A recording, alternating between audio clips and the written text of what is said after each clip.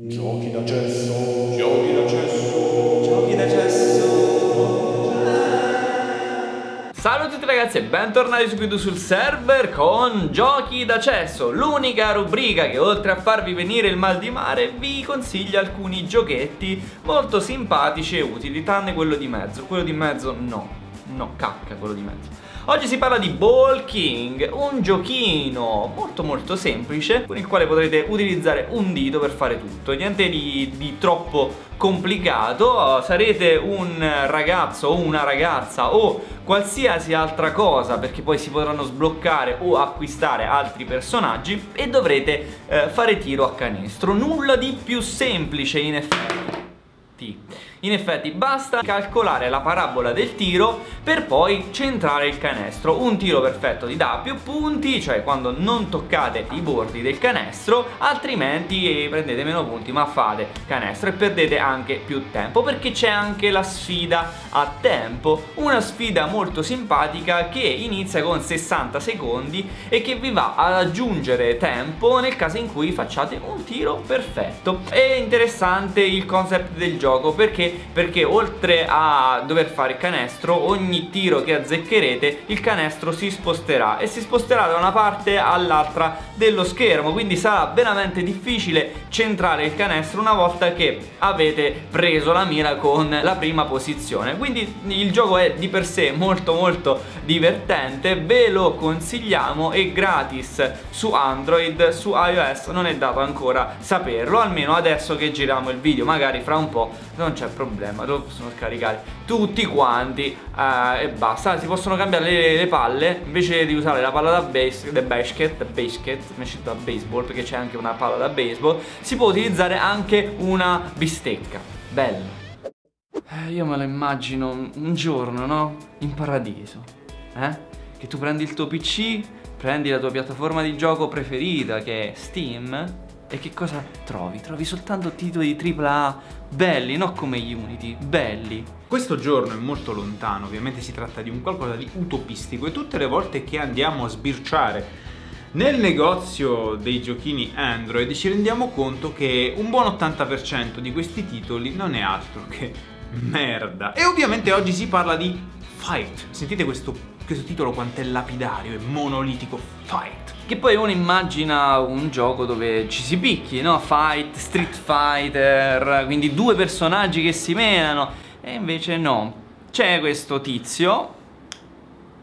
Tizio che puoi chiamarlo tizio. È un una specie di cavaliere, c'è un tizio vestito con una spada e deve correre. Perché tu ti svegli nella savana e tu sai che devi correre con una spada in mano. Intorno a noi il nulla pneumatico il niente. Siamo in una gigantesca radura che a un certo punto finisce no. A un certo punto troverete delle colonne, degli archi a volta bellissimi, però sparsi su questa pianura estrema e senza un senso logico. Cioè voi trovate un arco qui, una colonna qui, un paio di casse di lì giusto per riempire lo scenario che già di per sé faceva schifo, con queste cose messe a cazzo fa ancora peggio. Ma cosa dobbiamo fare in questo gioco oltre a rimirare questa gigantesca pianura tutta uguale e noiosa come una fila alle poste? Dobbiamo picchiare dei cattivoni che stanno tutto intorno a noi. Ci sono dei maghi, degli orchi, delle figure umanoidi, tutti quanti insieme, così come se fosse una festa di carnevale. Immaginate il Lucca Comics, sezione cosplayer, ok?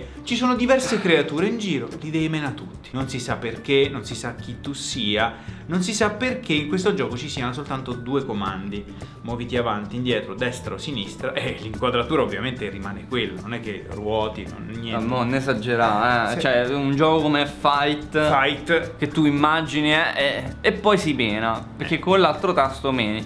Quanti tipologie di attacco c'hai? Una. Cioè in realtà ne hai tantissime perché tu puoi fare tap, tap, tap, oppure puoi fare tap, tap, tap, tap, tap, tap, tap, tap, attenzione perché sullo schermo i tasti non appaiono. Sì, e la cosa bella è che è anche buggato, cioè se, se, se potevano sbagliare qualcosa l'hanno fatto, hanno sbagliato tutto il gioco, compreso l'inserimento di bug su di una piattaforma perché quella è il cellulare, è una, una piattaforma completamente piana, pianura non è che si può sbagliare più di tanto, no, ci sono i bug. A volte cadi, a volte si, si toglie la texture del terreno.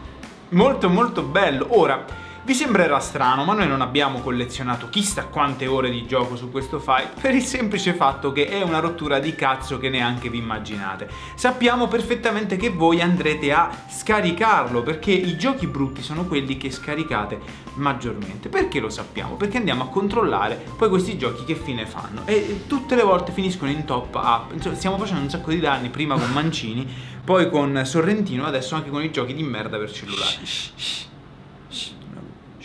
Comunque questa volta potete tranquillamente evitare perché veramente non ne vale la pena. Bene, adesso vediamo un altro bel giochino e quando dico bel giochino intendo un gioco veramente carino. Stiamo parlando di un gioco in cui si utilizza, come spesso avviene in questa rubrica, un solo dito. Stick Hero. Qual è il concept del gioco? È molto molto semplice. Siamo un omino nero che deve passare da una piattaforma nera ad un'altra piattaforma nera.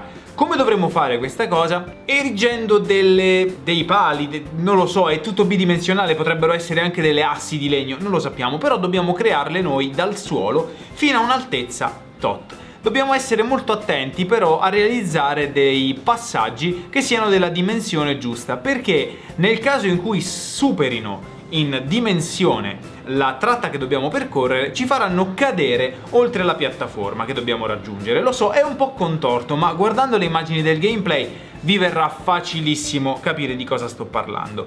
Ovviamente, oltre al comando che ci permette di innalzare queste, ehm, queste pertiche, abbiamo un nuovo comando che è quello che ci permette di passare da sopra a sotto. Dovremmo spesso fare questo switch perché dobbiamo afferrare degli oggetti che spesso sono sotto di noi e non sopra di noi. È pericolosissimo però perché se non lo facciamo con il giusto tempismo ci andiamo a spiaccicare sul muro davanti a noi. Molto molto divertente, addirittura penso che sia uno di quei titoli drogheschi veramente che ti attaccano per ore, soprattutto se non avete un cazzo di meglio da fare, ma questo è un gioco che va utilizzato proprio quando non hai un cazzo di meglio da fare, quindi va benissimo. Gradevole la grafica nella sua totale semplicità, gradevoli i suoni, il comparto sonoro, ma poco conta. Conta che sia un titolo in grado di intrattenere. Noi ragazzi vi ringraziamo per l'attenzione e ci vediamo al prossimo Giochi d'accesso.